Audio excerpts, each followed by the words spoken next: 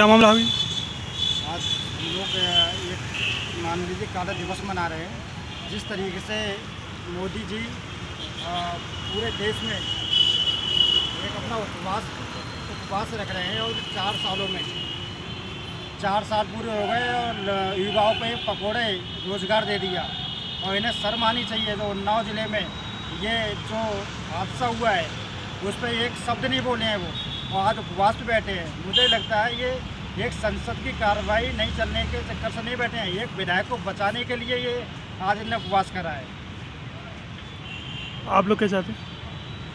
हम लोग ये चाहते हैं अगर विधायक को जल्दी से जल्दी जेल का जेल भेजा जाए और उस जो लड़की को और उसके परिवार को पूरा न्याय मिलना चाहिए पूरी तरीके से।